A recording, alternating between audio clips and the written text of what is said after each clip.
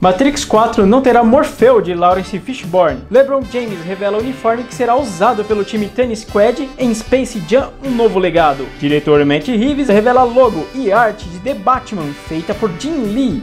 Tudo isso e muito mais na exclamação diária de hoje.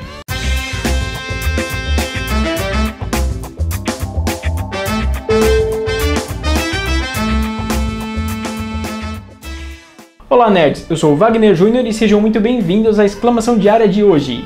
E o ator Lawrence Fishburne revelou durante uma entrevista que ele não foi convidado a participar do elenco de Matrix 4, ou seja, não teremos o Morpheu no filme. Isso se não colocarem um outro ator para esse papel, então a gente não vai ter o Morpheu com o ator original. Tu tá de brinquedo de mim, cara? E o jogador LeBron James revelou o uniforme utilizado pelo time Tony Squad no filme Space Jam Um Novo Legado. O longa tem estreia prevista para 16 de julho de 2021. E no dia 31 de agosto, o canal Cartoon Network retoma a programação do Toonami. Em parceria com a Crunchyroll, e o anime que eles vão trazer desta vez serão o Mobile Psycho 100 e Dragon Ball Super. Toonami vai ao ar a partir do dia 31 de agosto, de segunda a sexta, à meia-noite no horário de Brasília. E finalmente a Disney revelou a data do lançamento do seu serviço de streaming Disney Plus aqui no Brasil. Durante algumas postagens nas redes sociais, a Disney confirmou o lançamento para 17 de novembro.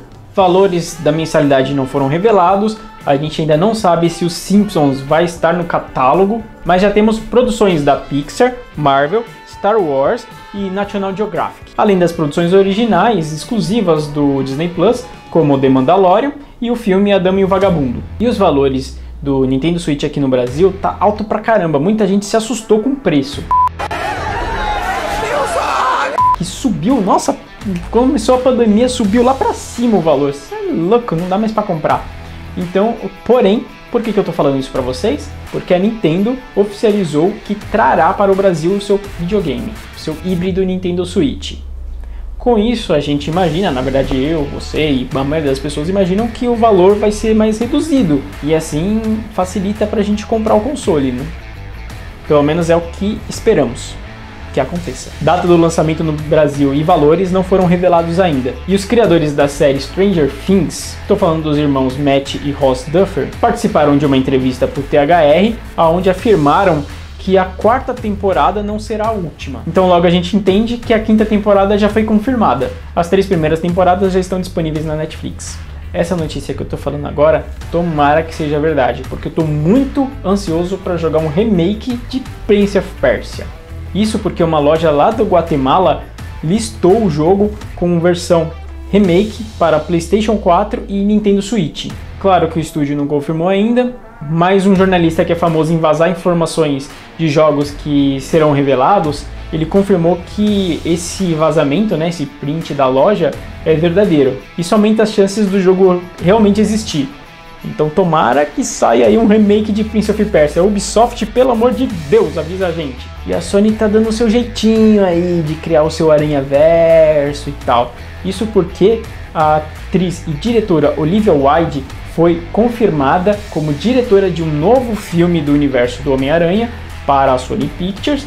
Segundo os rumores, será sobre o filme da Mulher-Aranha. Porém, ainda é um projeto fechado pela Sony, ela ainda não revelou nada, então a gente não tem como dar certeza dessa informação.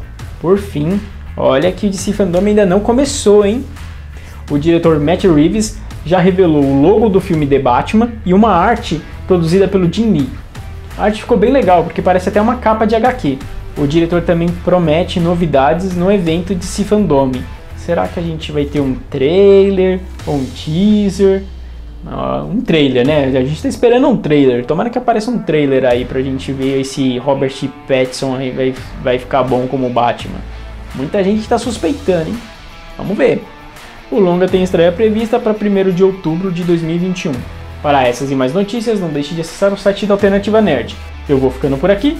Um grande abraço para todos vocês e até o próximo vídeo. Tchau, tchau!